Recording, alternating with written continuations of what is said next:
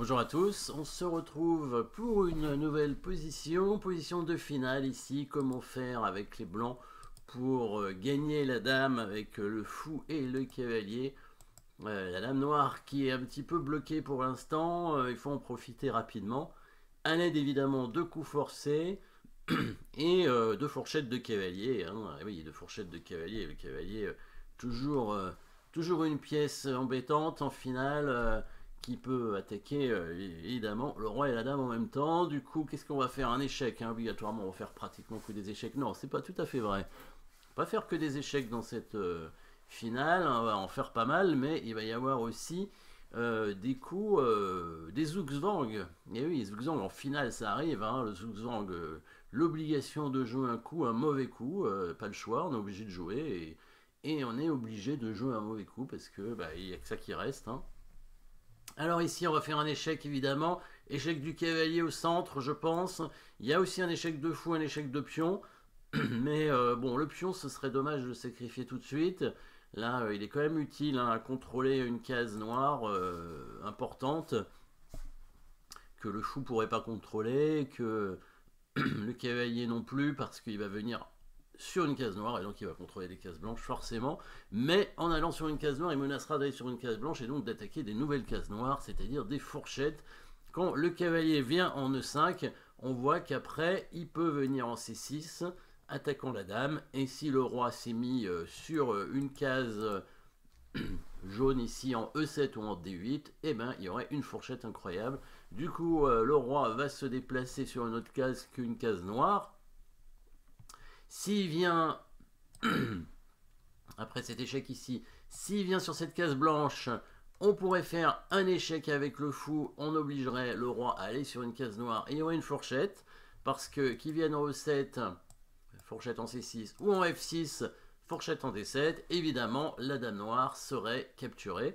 Donc pas de roi E6 non plus, et euh, on peut spéculer sur le coup roi E8 évidemment, avec à peu près le même genre d'idée, le fou qui viendrait en H5 sur échec, et dans tous les cas, il y aurait une fourchette, donc par défaut, hein, apparemment.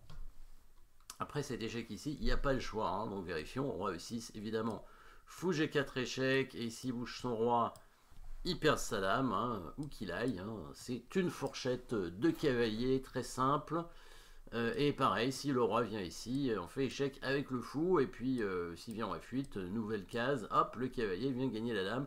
Quoi qu'il arrive, hein, évidemment, s'il vient là, on la gagne aussi, et on la prend, on a un fou de plus à la fin, on va gagner évidemment la finale. Donc sur l'échec du cavalier ici, bah, le roi, il va aller en C8, bien sûr, pour éviter les fourchettes. Voilà, et c'est là que ça se complique, bien évidemment, parce que si on continue à faire échec, il va s'enfuir lâchement en B7, et euh, on va pas revoir euh, le roi, il n'y a plus beaucoup d'échecs, il y a un pion qui peut avancer, mais après il n'y aura plus rien. Et la dame noire va pouvoir s'enfuir. Donc ici, le but, ça va vraiment être de bloquer la dame noire. Hein. Euh, le roi est un peu bloqué déjà, mais la dame noire aussi, mais pas trop finalement. Il y a des cases, hein. il pourrait prendre ce pion par exemple, ce serait dommage. Mais grâce aux fourchettes, on va l'empêcher de prendre ce pion. Vous avez bien sûr trouvé le coup forcé. Cette fois, c'est pas un échec. Il y en a qu'un d'échec, c'est le fou en G4 et c'est pas bon. Parce que si on met le fou en G4, il va simplement s'enfuir avec le roi en B7. Le roi peut plus être trop mis en échec et la dame va pouvoir euh, s'enfuir de son trou. Et euh, on va essayer de l'enterrer un peu. Donc ici, pas de menace de mat, mais euh, une attaque de dame, évidemment. Attaque de dame parce que s'il prend le pion, il va la perdre. Donc vous avez vu le coup de cavalier ici. S'il prend le pion euh, avec la dame, on va maintenant pouvoir faire échec parce que quand le roi va venir là, il y aura la fourchette qui gagnera la dame.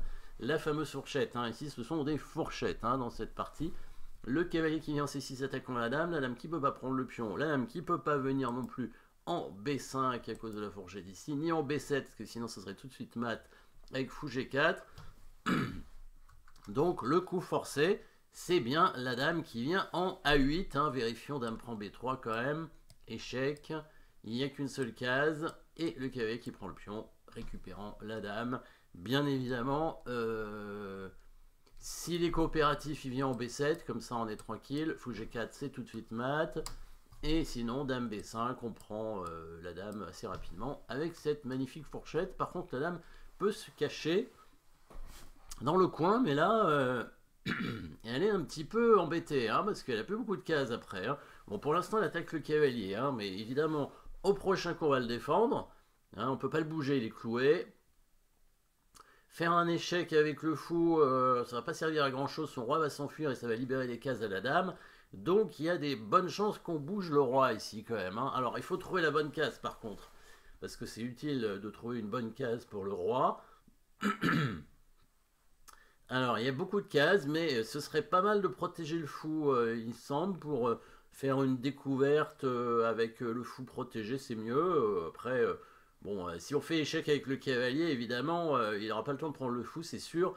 Mais, en tout cas, on anticipe le prochain coup des noirs, qui est probablement pas un coup droit, parce que sinon, le cavalier va donner échec et va gagner la dame ce sera euh, probablement le coup de dame en A6. Il faut anticiper ce coup, dame A6. Et dans ces cas-là, qu'est-ce qu'il faudrait faire? Est-ce qu'on pourrait attaquer la dame avec le fou? Euh, Pas trop parce que le cavalier serait plus protégé. On pourrait faire un échec mais il va venir en B7. Et après attaquer la dame et il va s'enfuir avec la dame. Pas évident. En tout cas, quand il met sa dame en A6, euh, est-ce qu'il menace quelque chose si on a bougé le roi Le cavalier ne peut pas être pris. Euh, S'il bouge son roi, il y a une découverte toujours qui va gagner la dame. S'il vient en D7, il y aura toujours la fourchette en B8.